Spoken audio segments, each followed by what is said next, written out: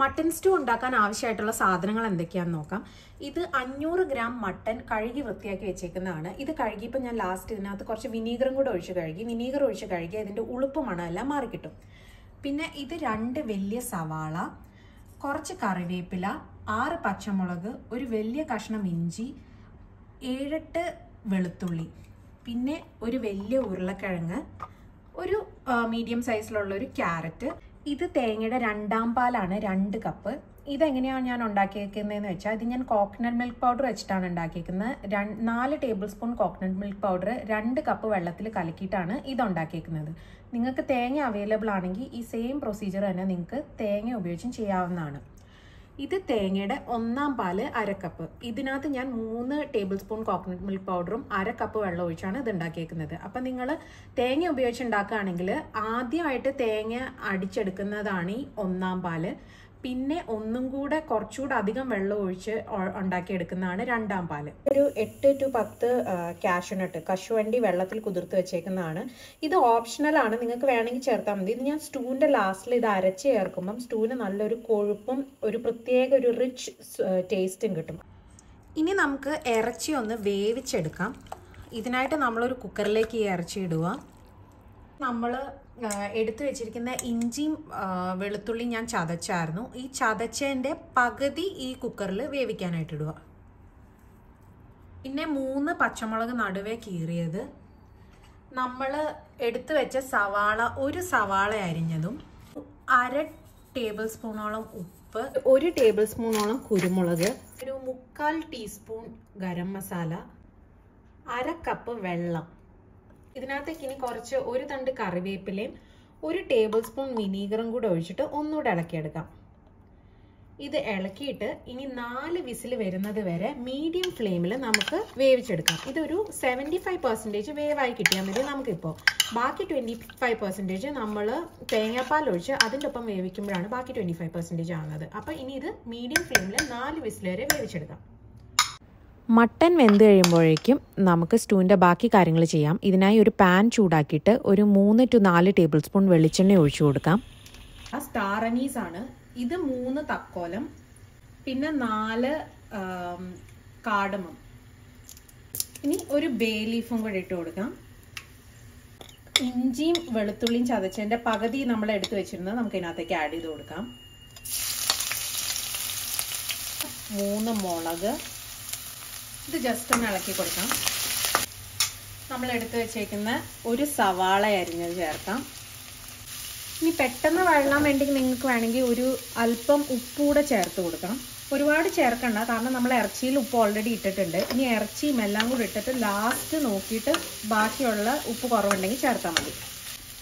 ഇതിന്റെ കളർ ഒന്ന് ചെറുതായി മാറി തുടങ്ങിയിട്ടുണ്ട്. ഇതിനകത്തേക്ക് ഇനി നമ്മൾ അരിഞ്ഞു വെച്ചിരിക്കുന്ന പൊട്ടറ്റോയും ക്യാരറ്റും ചേർത്ത് കൊടുക്കാം.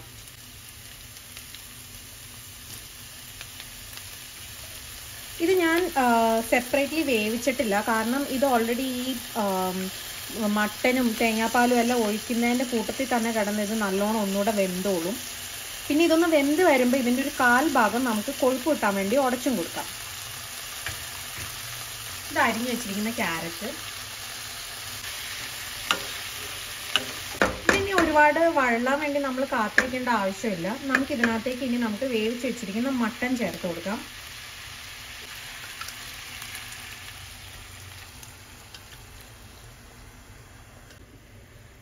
മട്ടൺ ചേർത്തിട്ട് നല്ലോണം ഒന്ന് ഇളക്കി കൊടുക്കാം.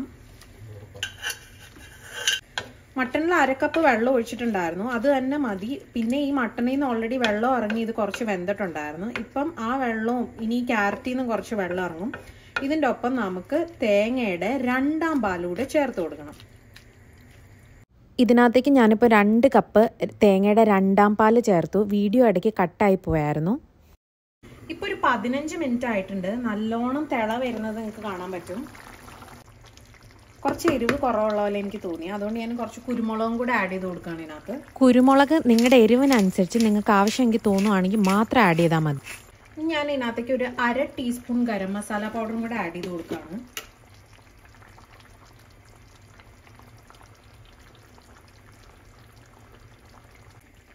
ഇപ്പം ഞാൻ ഇതിന്റെ ഉപ്പ് നോക്കി കുറച്ച് ഉപ്പ് കറക്റ്റ് ചെയ്തിട്ടുണ്ട്. പിന്നെ ഇതിനകത്ത് കിടക്കുന്ന ഒരു ഇതിനകത്ത് കിടക്കുന്ന ഈ പൊട്ടറ്റോ വെന്ത് വന്നിട്ടുണ്ട്. അത് ഞാൻ കുറച്ചൊരു കാൽ ഭാഗം ഇങ്ങനെ ഉടച്ചു കൊടുക്കുകയാണ്.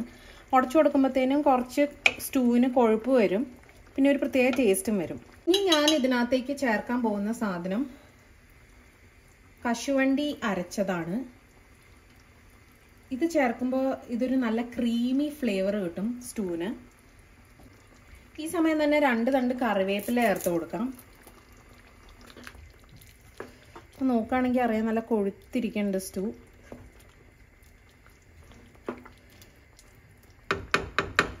ഇനി ഇതിനകത്തേക്ക് നമുക്ക് ഏറ്റവും ലാസ്റ്റായിട്ട് ചേർക്കേണ്ട സാധനം തേങ്ങയുടെ ഒന്നാം പാലാണ്. ഇത് ചേർത്തിട്ട് പിന്നെ ഇത് നമ്മൾ തിളപ്പിക്കേണ്ട ആവശ്യമില്ല. ചെറുതായിട്ടൊന്ന് ചൂടാക്കി അപ്പം തന്നെ ഗ്യാസ് ഓഫ് ചെയ്യുക തിളപ്പിച്ച ഒന്നാം പാൽ പിരിഞ്ഞു പോവും. അപ്പോൾ തേങ്ങയുടെ ഒന്നാം പാൽ ചേർത്ത് കൊടുക്കാം. പിന്നെ ഇങ്ങനെ തേങ്ങാപ്പാൽ ഉണ്ടാക്കുന്ന കറികൾ ഉണ്ടാക്കുമ്പോൾ നിങ്ങൾ ശ്രദ്ധിക്കേണ്ട കാര്യം എപ്പോഴും ക്ലോക്ക് വൈസ് ഇളക്കുക. അല്ലാതെ അങ്ങോട്ടും ഇങ്ങോട്ടും അങ്ങോട്ടും ഇങ്ങോട്ടും ഒക്കെ ഇളക്കി കഴിഞ്ഞാൽ ഇത് പിരിയാനുള്ള സാധ്യതകൾ വളരെ കൂടുതലാണ്. അതുകൊണ്ട് എപ്പോഴും ഒരു ക്ലോക്ക് വൈസ് ആയിട്ട് മാത്രം ഇത് ഇളക്കി കൊടുക്കുക. ഇത് എല്ലായിടത്തും ഒന്ന് ആവുന്ന വരെ ഇളക്കുക. ഉപ്പ് പാകാണോ എന്ന് നോക്കുക. എന്നിട്ട് പയ്യെ ഒന്ന് ഒരു ടു മിനിറ്റ്സ് കഴിയുമ്പോഴത്തേനും ഇത് ഓഫ് ചെയ്യുക. ഗ്യാസ് ഓഫ് ചെയ്തു. ഇനി ഇതിനകത്തേക്ക് ഏറ്റവും ലാസ്റ്റ് ആയിട്ട് നമുക്ക് കുറച്ച് അണ്ടിപ്പരിപ്പും മുന്തിരിങ്ങയും നെയ്യിൽ വറുത്ത് ചേർക്കണം. ഈ സ്റ്റൂവിൽ നെയ്യുടെ ഒക്കെ ഒരു ടേസ്റ്റ് ഉണ്ടെങ്കിൽ നല്ലൊരു ഫ്ലേവറാണ് സ്റ്റൂവിന് കിട്ടുന്നത്. ഇതിപ്പോൾ ഞാനൊരു പാൻ അടുപ്പത്ത് വെച്ചിട്ടുണ്ട്. ഇതിനകത്തേക്ക് ഞാനൊരു അര ടേബിൾ സ്പൂൺ നെയ്യ് ഒഴിക്കുവാണ്. നെയ്യ് ചൂടായി വരുമ്പോഴത്തേക്കും നമുക്ക് അതിനകത്ത് മുന്തിരിങ്ങ ഇടണം. ആക്ച്വലി കാഷ്യൂനട്ടിന്റെ വേവ് വെച്ച് കാഷ്യൂനട്ട് ആദ്യം മുന്തിരിങ്ങ രണ്ടാമതുമാണ് ഇടേണ്ടത്. ഞാൻ ഞാനിത് അത്രയും അങ്ങ് വേവിക്കാൻ ഉദ്ദേശിക്കുന്നില്ല. കുറച്ചൊന്ന് കടിക്കുന്ന രീതിയിൽ കിട്ടാനായിട്ടാണ് ഇത് ഒരുമിച്ചിട്ട് ജസ്റ്റ് ഒന്ന് ഒന്ന് വറുത്തെടുക്കുന്നതേ ഉള്ളൂ ഞാൻ.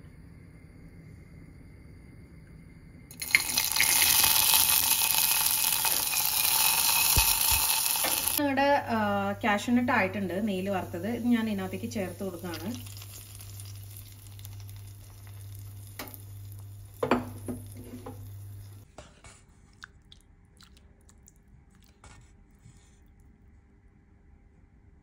അങ്ങനെ നമ്മുടെ സ്വാദിഷ്ടമായ മട്ടൻ കറി റെഡിയായി കഴിഞ്ഞു. ഈ ക്രിസ്മസിന് ഇതെല്ലാവരും ട്രൈ ചെയ്ത് നോക്കണം. അപ്പത്തിന്റെ കൂടെ ഏറ്റവും ബെസ്റ്റ് കോമ്പിനേഷൻ ആണ്. ഇനി ഇതെല്ലാം കണ്ടിട്ട് നമ്മുടെ ചാനൽ സബ്സ്ക്രൈബ് ചെയ്യാത്ത ആരെങ്കിലും ഉണ്ടെങ്കിൽ തീർച്ചയായും സബ്സ്ക്രൈബ് ചെയ്യണം. അപ്പോൾ ഹാപ്പി ഈറ്റിംഗ്